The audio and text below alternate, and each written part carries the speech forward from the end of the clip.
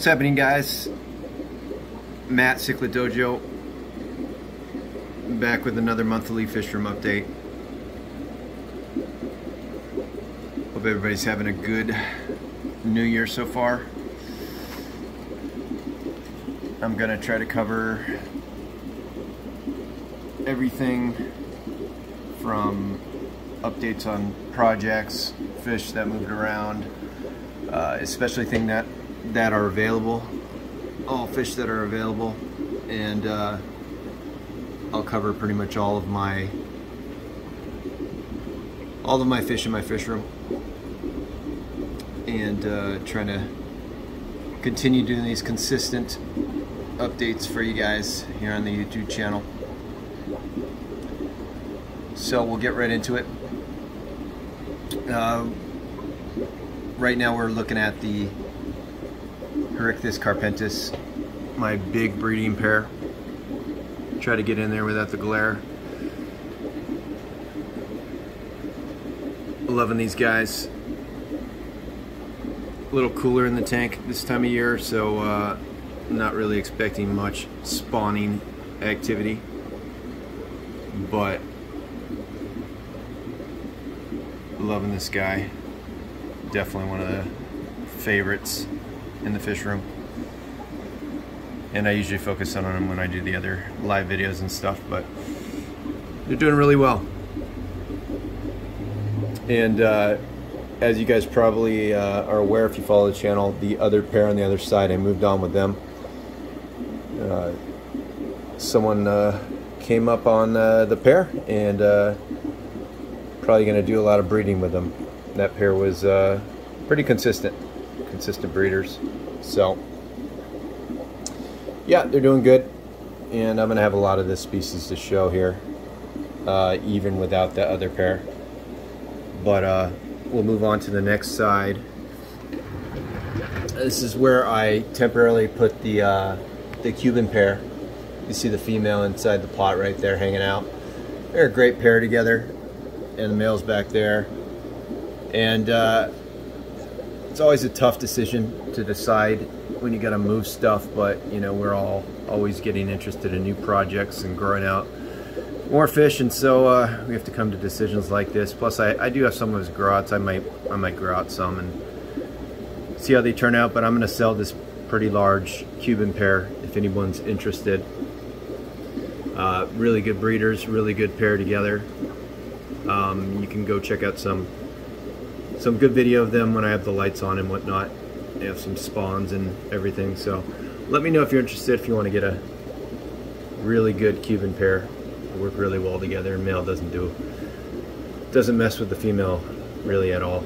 So send me a message. Facebook or Instagram would be the best ways. Um, down below, these are uh, some of their fry actually. Uh, they're pretty big at this point. Um, I think I'm listing them at two to three inches. Let me know if you're interested. I still have a good amount in here. Get you some bigger Cubans. And I'll do my best to see if I can sex as best as possible uh, at the time of bagging the fish. Don't have the room to segregate and, and take individual fish, pictures of them, and put them in top holding containers right now. Maybe I'll do that in the future, but so right now it's just uh, they're going to move in the size range. So let me know if you're interested. Let's go over here next. Uh, this is a 100 gallon, has some of the. Actually, I think there's some fun activity going on right now. I think there's, uh, I saw a female drop some eggs. I think, uh, I'm not sure if they're fertilized or whatnot. Um, you can see there's been some lip locking. That's a dominant male. It's another male that's kind of challenging him. And uh, absolutely beautiful fish. But this female is the one that he's always with. And that second male is fighting over. Where's that second male? I think that's, that's the fish.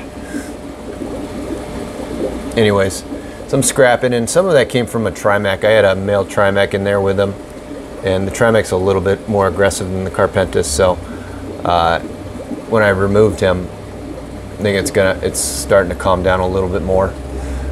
But of course, this 100 gallon's not going to work for I think eight of these guys, no, 10 of these guys in here for too long. So I'll have to make some decisions, but definitely think I'm gonna go with this pair uh, for future breeders going forward. They do a pretty good job. So, a female fired up breeding dress. Super fun species. And I do have their fry available if you're interested. Not these, this pair, but the other, the big pairs fry. I think they're in that one inch range. We'll go check them out. They'll be by the garage opening, so it might be a little bit harder to see them. But this is uh, you're witnessing some that I grew out myself. From uh, I think a little smaller than the one inch size that I'm offering right now. So pretty fun. All right, moving on. Down below, I have the multifasciatus fry, the Freddy's, and uh, some of these are getting pretty big. Some of these are definitely an inch plus, really fat fish. And, and I started, like pretty much all my fry and all my fish in here, started feeding that Dainichi uh, food, which uh, I'm actually really liking.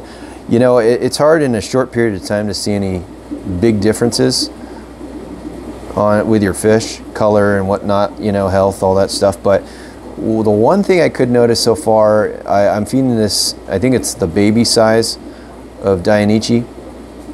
Um, it's done really well uh, with fry and they growing uh, noticeably different, multiple different species seem to be growing faster on that stuff. I really like it. And uh, I pull out of a, a bag of it for you guys here. Let's see. So, and you've probably seen my videos, but um, this is what the package looks like. This is the larger size, the medium. Uh, and I feed this to the, my larger fish. Uh, I'm almost out. This is the sample that I've been trying, and I, I ran out real quick of this stuff. They love it. Really high quality ingredients. Go check it out. And uh, and I'm feeding some of this color stuff. Uh, you can go check out the other video for my red, the fish that get red, like the uh, red terrors, the motaguensis, and they love that as well. So I'm really excited to see how that does long term because uh, obviously the Festae are going to take a little while to to see any coloration, but I'm going to stick on that. But all the other fish really seem to like it. So I actually got a bunch extra because um, I'm getting it directly from them, and uh, I can easily add that to some of the fish orders, or you can just get some separately. Um, definitely got it for a discounted price. Let me know if you're interested, guys. Figured it would be a good thing to offer. Um, I get a lot of questions on uh, what to feed, what are you feeding right now, trying to, you know, mirror that when they get the fish. And, uh, you know, in the past I was feeding a food that you had to buy 50 pounds bulk, so it wasn't really realistic that anybody could get that same food. And, and so now I've switched over to a premium food uh, for my fish and also I'm offering it. So should be a very easy transaction, uh, transition over to the same, same exact food you can keep them on. Uh, just message me with the, the fish order. And even if you uh, not getting fish, I highly recommend trying that stuff. So let's move on. Uh, let's go this way. All right. So I don't know if we're gonna get in here. I got the True Green Terrors, and do you know a Carl Stolzberg guy? See if we can check any of them out. There's one. Man, absolutely beautiful fish. Um, obviously a little on the skittish side, but uh, we'll stay here for a minute to see if any of these come out. And uh, just getting prettier and prettier by the day. I mean, I think the dominant male is in the back right, right there. But uh, it's just, they're getting bigger. Uh, the only thing that's uh, not happening is spawning. So I do have some of their fry left. I think they're somewhat bigger than I've ever offered, like inch and a half to two inches. There's the dominant male, inch, inch and a half to two inches, and uh, they're not lasting very long. Kind of dwindling down. So fingers crossed these guys will give me a spawn, but um, hopefully someone that's gotten fry from me will come through if I can't. So anyways, True Green Terrors, let me know if you're interested on the, the fry. All right, uh, moving down. Uh, not see a whole lot, but there are a whole lot of fish in here. These are the uh, Herichthys carpintis, another batch. They're fry. These are not the ones. These are smaller. I have bigger ones, much bigger ones than this. Uh, we'll get around and go see those in a little bit, but not a whole lot to see. And then I think this whole stand I'm not going to really focus on. I had some F1 Feste Groats here uh, that I, I've since moved. I've had it on my stock list, uh, and I do still have a 7-inch Feste F1 Rio Guayas uh, down in the bottom left-hand corner. Be hard to see them with this light, but um, uh, let me know if you're interested in that one. But uh, all the rest of them seem to move. I had them on my stock list and whatnot. So, um, yeah, I'm gonna do something else with this tank. I'm gonna grow out some more. Surprise, surprise, some more red terrors. Uh, probably those Rio Narina ones, uh, the Colombian ones from my buddy. And uh, we'll get to see how they turn out. Can't wait to grow those ones out. Actually, I will be waiting because they're going to take a while. All right, moving on.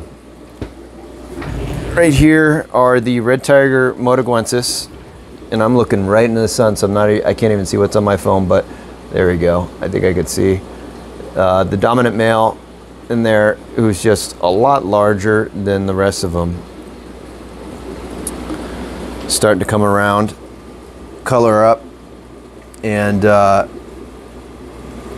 hopefully we'll see some pairing. You know, I might hold on to a pair, but most of these guys, I'm gonna, have, if not all of them, I'm gonna have to move. Um, some you can definitely see females in here. Another probably big male back there, I'm guessing. Maybe that's a female actually, not sure. So anyways, the Modas, the last of the motas, are growing out in this 75 gallon. So, uh, moving on. Down below we have uh, three 10 gallons. Excuse me. On the right side we have more Herichthys carpintis. In the middle we have some more F1 Feste, the Rio Guayas. And I do have a bigger batch of these that are right around the corner from being ready. They're not on my stock list right now, but um, I think in about two, three weeks, those other ones are going to be ready.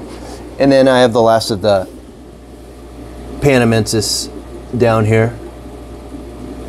I think there might be like 12, 12 of them in here, 15. Some of them are over an inch. They look really healthy. Um, and looking at them right now, I'm like, do I really want to get rid of them? Do I want to grow them out? But anyways, space is always an issue. So let me know if you're interested.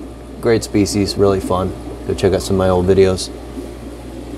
All right, now we might see very little here. Uh, there's the, they were on the 240 gallon right now with the sunlight shining into the garage, you can see what the Parafeste on the right are doing. I just did a video on these guys, so you guys probably better to go check that out than this won't show you much. Uh, the, the caught pair on the left, you can see the female hanging out over there, and then the males just chilling right over here. Beautiful as always. Try not to pump up this guy too much, but I really like him. Great pair. So uh, again, they're fry. This wild caught Rio Guayas pair. They're fry will be ready very soon.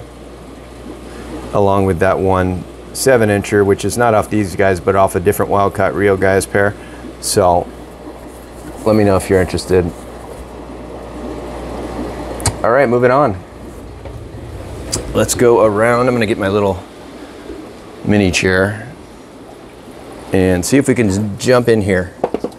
So this is a 40 gallon where I was growing out and you're gonna see a bunch of skittish fish flying around. These are the grow out Andinoacara stalsbergi. And uh, that's what they do when the lights up, when the garage is open. So we're not going to focus on these guys too much. But at some point, I will definitely have to move them up. Um, down below,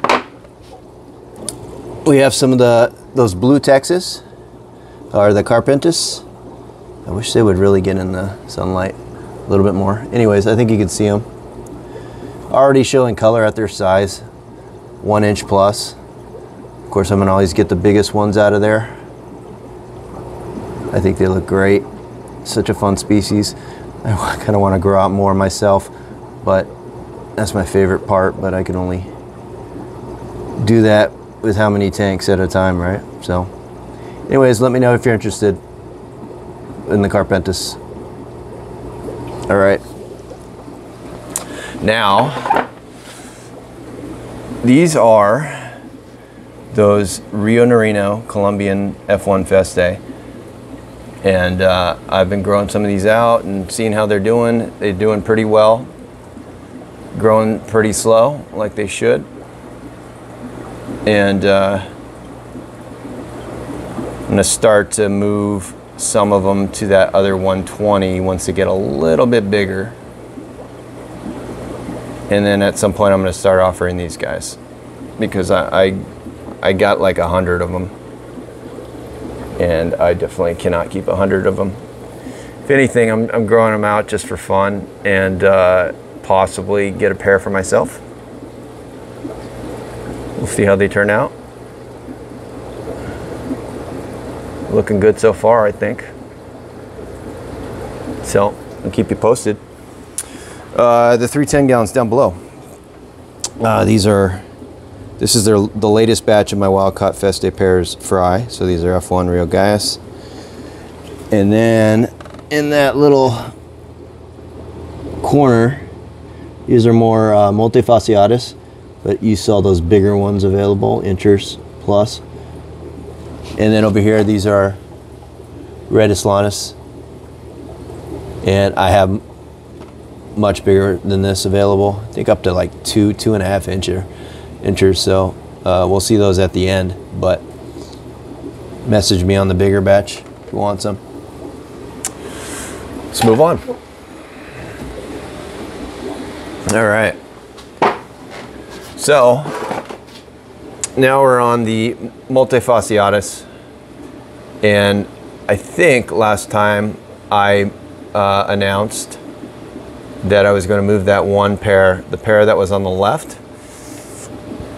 Actually, my buddy got them, uh, Joseph, and uh, I think he's really loving them.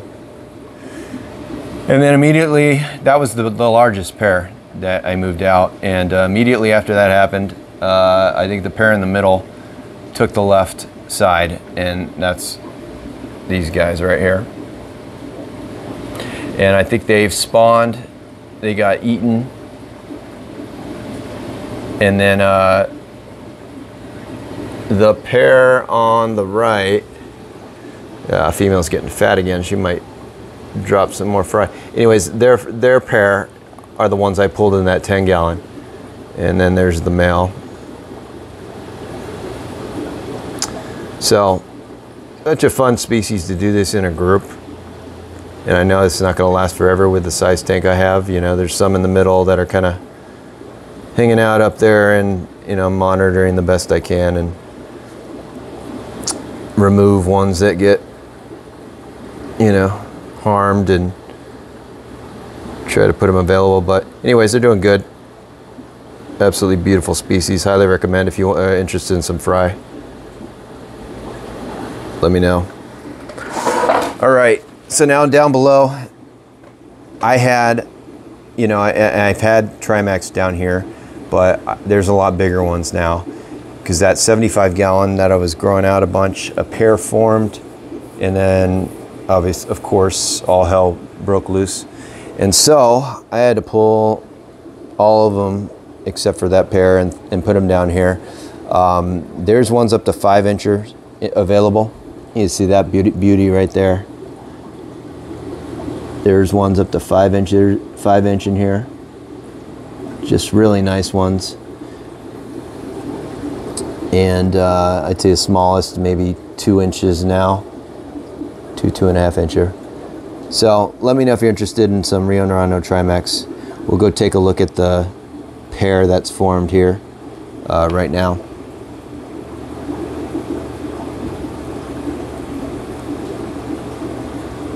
All right, let's move on. All right. All right, so I kind of did the 75, one of my favorite ways with these Trimax. I did a pair, you can see the male right there. I did the pair on the left, and then you can see the female right there. Uh, I did that pair right here on the left side, and then on the other divided side, I kept one an extra male over here, and he's he's hiding right now because the garage is open, but uh, they're usually flaring up at each other. A lot of fun to watch. A lot of uh, attitude through that divider. So this male might be something special. We'll see. Uh, they've already had two two batches of fry, which got eaten right away. But they went crazy trying to protect them. So we'll uh, hold on to this pair for a little bit and uh, get some nice video and whatnot of them. But uh, plenty others that are just right around the corner from pairing up and themselves. You just saw in that 60 gallon cell. Let me know if you're interested in Trimax. Um, screechy chair, apologize. Down below, we're not going to see much. They're all in that back corner. There's the uh, F1 Andinoacara stalsbergi, the True Green Tears. Let me know. Dwindling down. I won't have them available after this for unless that pair gets their act together. And they're just absolutely great eaters. Eating that Dainichi really well. That XL baby size. Um, highly recommend it. All right, last few tanks. Uh, this is the 180 with more Feste. Surprise, surprise. You can see this male right here try to get in here without the glare. Um, he's, he's still doing good. He's still getting big, eating a lot. He's just a big tank, you know. I, I'm wondering if he's close to the size of that wild caught male, which would be just amazing that he's grown so fast. He's got big really quick. Um, I had to remove one of the females out of here not so much because of the male, but the females were just going at, e at, at each other. And uh, there's one in the tube right there too. You can see her coming out the backside. And then uh, another one over here. So lots of field males for him to choose from. Just letting him do his thing. A lot of breathing room in this tank for him. So, all right, moving on. Last two tanks, got a 40 breeder here with uh, the Red Aslanus. Um, so yeah, the biggest ones here are definitely over two inches. So let me know. The smallest maybe inch and a quarter, inch and a half. Those are available. And then here's the uh, Red Terrors, the Feste these guys are also growing really fast right now. I had them in a 10 gallon not too long ago. They're a lot smaller than this. and then in the two weeks, week and a half, two weeks I've had them in here, man, they've been eating that Dainichi XL baby size. Really good. and there's just full on this stuff. They do really good on that. So, like I mentioned, really liking that new food I've been using for a couple months now. Decided to get some extra. If you guys are interested, let me know. Got it for discounted prices. And uh, let me know on any of the fish too. So, it's Trimax right front and center.